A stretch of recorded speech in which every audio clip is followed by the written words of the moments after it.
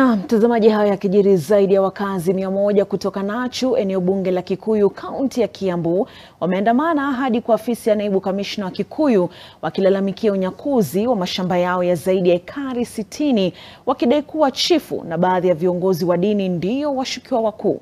Na kulingana na wakazi hawa, waligawana kipande cha kwanza cha ardhi yao, ila walipoanzia shughuli ya kugawa sehemu ya pili, wakafahamishwa kulinyakuliwa na wengine wengine. Wakazi hao wanaomba naibu kamishna wa Kikuyu kuingilia kati, kwani wengi wao ni wazee mno na hawana mtu wa kuwatetea. Naibu kamishna wa Kikuyu Charles Laboso alisema wameanzisha uchunguzi.